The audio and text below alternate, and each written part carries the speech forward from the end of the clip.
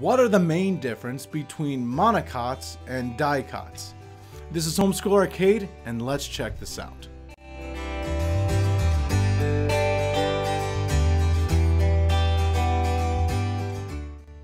So what are monocots and dicots? Well, monocot and dicot are actually shortened versions of the words monocotyledon and dicotyledons.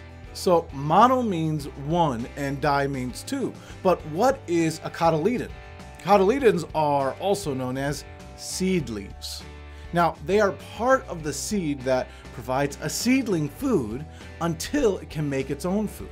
So when a seedling first comes out of the seed and pops out of the soil, the cotyledon forms the first leaf or leaves. So when a plant has one cotyledon, it's called a monocotyledon or monocot. And when a plant has two cotyledons, it's called a dicotyledon or a dicot. So monocots and dicots are the two main groups of flowering plants, also called angiosperms. Now we know what differences the name of a monocot and dicot addresses, but there are also a few other differences between monocots and dicots.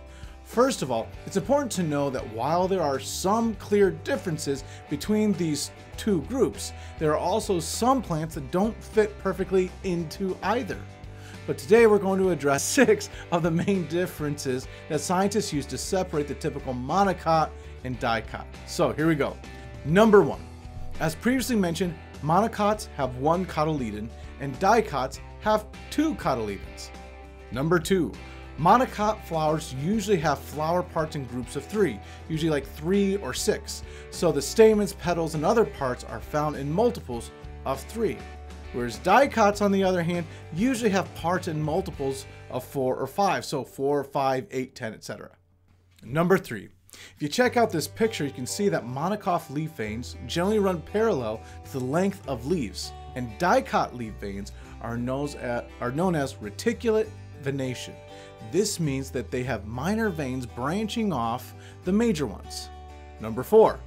The vascular bundles or xylem and phloem in monocots is scattered throughout the plant's stem or leaves, whereas dicots vascular bundles are found in a ring. Now, if you'd like a refresher to learn more about the vascular system, you can check out our video on the topic, and I'll put the link right here for you. Number 5.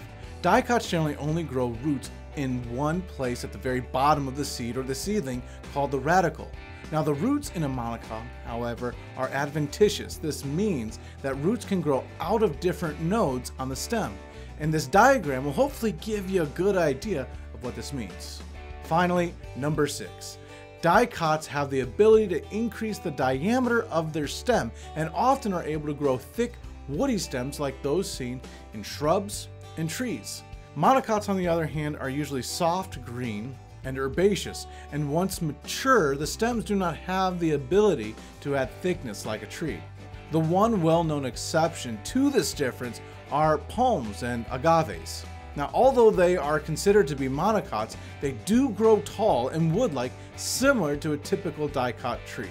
So, now you know six main differences between monocots and dicots, and I hope you enjoyed this homeschool arcade video and learned something new. So with that, don't forget to click like and subscribe to get notified when we come out with new videos with great educational content. You all have a good one.